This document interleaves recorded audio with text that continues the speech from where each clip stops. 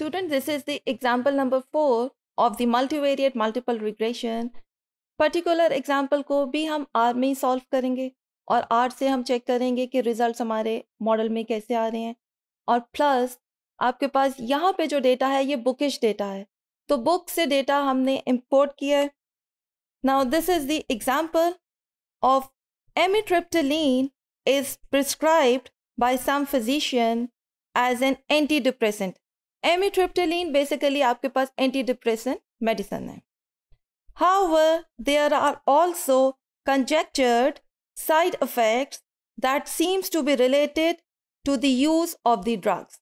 अब हमने उसके साथ साथ उसके साइड इफेक्ट्स भी देखने हैं। आपके पास एंटी डिप्रेशन मेडिसिन है उसके हम साइड इफेक्ट्स भी चेक कर रहे हैं। अब साइड इफेक्ट्स में क्या है? Related to the use of the drugs irregular heartbeat abnormal blood pressure and irregular waves on the electrocardiogram, among other things. This is the example. Data gathered on 17 patients who were admitted to the hospital after an amitriptyline overdose are given in table. Table में given है उसका data.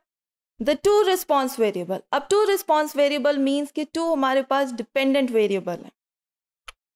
Now here is the data Y one is the dependent variable that is the total C D A T C D A plasma level T O T उसकी notation रहे।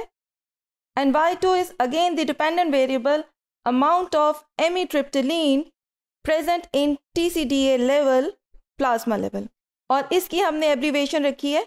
ए M I students ये data जो है, ये use किया हुआ है applied multivariate statistical analysis six edition है बाय रिच रिचर्ड जॉनसन उसकी बुक से ये डेटा लिया। मैं रिपीट कर रही हूँ।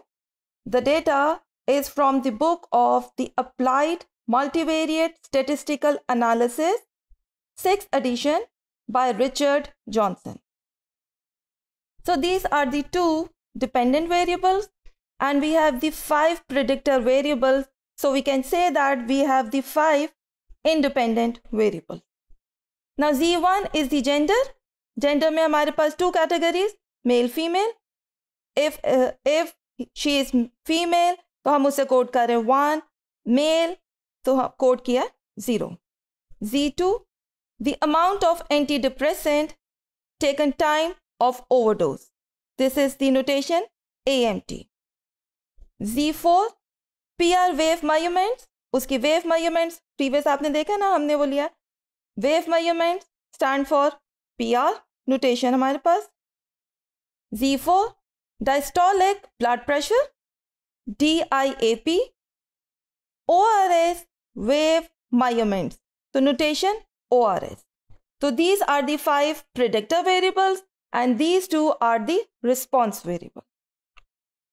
This is the data amitriptyline data और आपके पास वैल्यूज़ दी हुई है Y one Y two G one G two G three G four G five तो these are the two dependent and these five are the independent okay data हमने book से लिया और हमने करना क्या है इसमें? Regression analysis using only the first response Y one Y one first response लेके हमने रिग्रेशन एनालिसिस को परफॉर्म करना।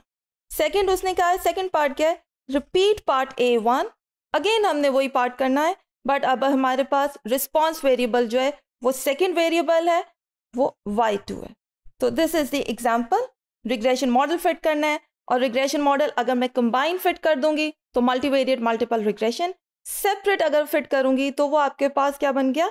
Regression analysis linear so this is the R window data कहाँ से लिया? मैंने अभी आपको इन्फॉर्म किया था data from the book of the multi applied multivariate statistical analysis six edition by Richard Johnson then ये आपके पास वेरिएबल हैं, ये सारे वेरिएबल्स यहाँ पे हमने लिख दिए हैं और लिखने के बाद मैंने इसको यहाँ पे नंबर साइन है नंबर साइन का मीन्स कि आपके जस्ट इंफॉर्मेशन के लिए यहाँ पे लिखा।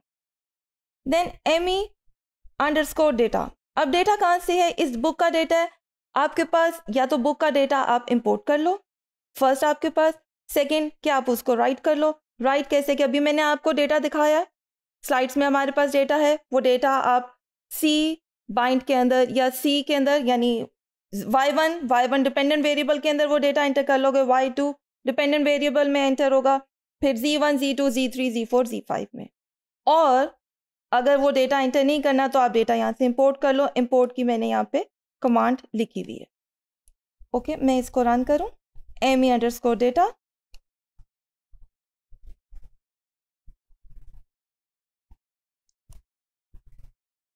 data run हो रहा है। डेटा आ गया मेरे। फिर is the data v1 v2 v3 v4 v5 v6 v7 these are the y1 y z1 y1 y2 and these are the z1 z2 data import हो गया। नेक्स्ट नेक्स्ट हमने क्या किया? नेम्स अब उसके नेम दे दिए, क्योंकि हमने वहाँ नोटेशन ली हुई है ना। नोटेशन हमारे पास है। T O T A M I G N और ये आपके पास वैल्यू की थी Y one Y two G one G two G three G four G five just हमने उसके नेम दे दिए और नेक्स्ट कमांड है हेल्प की। हेल्प अगर आपको इसके बारे में चेक करना है, देखना है कि क्या वेरिएबल्स हैं तो हेल्प को हम रन कर लेते हैं। इसकी लाइब्रेरी में नहीं है पैकेज यहाँ से हमें डाउनलोड कर लेना है तो हेल्प से भी आपको रिजल्ट्स मिल जाएँगे। उसके बारे में रिजल्ट्स नहीं मिल जाएँगे सॉरी आपको इन्फॉर्मेशन मिल जाएगी। यहाँ हेल्प की विंडो है ना, यहाँ पे आपको सारे वेरिएबल्स की एक्सप्लेनेशन आ जाएगी। No next is the summary अगर मुझे इसकी समरी फाइंड करनी है तो मैं इसकी समरी भी देख सकती हूँ। ये आपके पास समरी आ गई है। बेसिकली समरी में हमने क्या देखा है?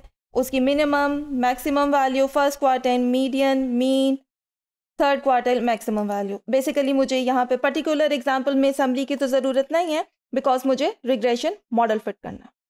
अच्छा मैंने यहाँ पे रिग्रेशन मॉडल आपको दोनों बोथ मेथड से बता दिया हुआ है। These are the multivariate and these are the univariate अब फ़र्स्ट उसको हमने क्या किया? नोटेशन है M one L one less than equals to less than minus आप इसकी जगह इसको इक्वल टू भी कह सकते हैं। अब लीनियर मैं तो इजीली इसको इक्वल टू कर लेती हूँ बट अगर आप उसमें चेक करोगे गूगल करोगे तो यहाँ पे वो लेस देन माइनस का साइन है less than minus which is equals to equal to M one L one equals to L M linear model हमने लगाना है सी बाइंड कंबाइन कर दे T O T and M ठीक है? और किसके अगेंस्ट वो लगेगा? Independent variables tends to G N plus A M T plus P R plus D I A P plus Q R S जो हमने वहाँ पे वेरिएबल्स की नोटेशन ली है। और डेटा नेक्स्ट कमांड क्या है? Data equals to A M I underscore data ये A M I underscore data क्या है? ये हमने लेट किया हुआ यहाँ पे। A M I underscore data so first मैं रन कर रही हूँ। और रन मैंने किसे किया? मैंने रन किया है मल्टीवेरिएट के अकॉर्डिंग रन हो गया हमारे पास। और देन मैं इसको चेक कर लूँ further yes here is the solution this is the T के लिए डेटा रन हुए देन ए के लिए मॉडल फिट हो गया। इंडिविजुअली आपके पास भी आ गए हैं रिज़ल्ट अब this is for Y one अगर मैं Y one T O T को कह रहा हूँ वाई वन तो minus two eight seven nine point four seven eight two this is the beta naught then six seventy five point six five zero eight G one G two G three G four and the G five ठीक है ये हमने आगे वहाँ variables के जो हमने Z1, Z2 था उसकी जगह उसकी नोटेशन यहाँ पे आ गई हैं। सो so, ये मॉडल किसके लिए फिट हो गया? ये मॉडल फिट हो गया वाई वन के लिए।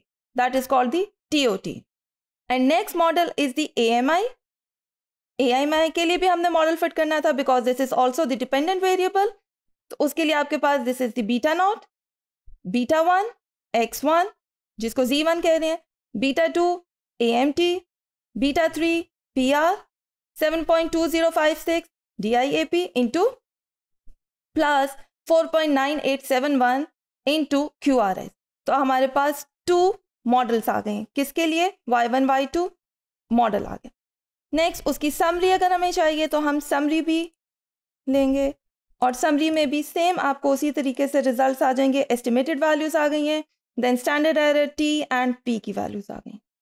ठीक है? अगर हम प्रीवियस जाएँ तो यही आपके पास फॉर्मूला लगाया response for A M I just मैं आपको यहाँ पे दिखाऊँ कि हमने कंबाइन ये देखो, ये आपके पास कंबाइन था ना? अब कंबाइन के बाद जब मैं इसकी समरी में गई हूँ तो समरी ने क्या किया है? रिस्पॉन्स टीओटी के लिए अलग कर दिया। रिस्पॉन्स टीओटी मॉडल जस्ट उसने टीओटी को डिपेंडेंट रखा है रिमेनिंग को उसने इंडिपेंडेंट रख लिया। और रिज़ल्ट देखो, फिर वही है।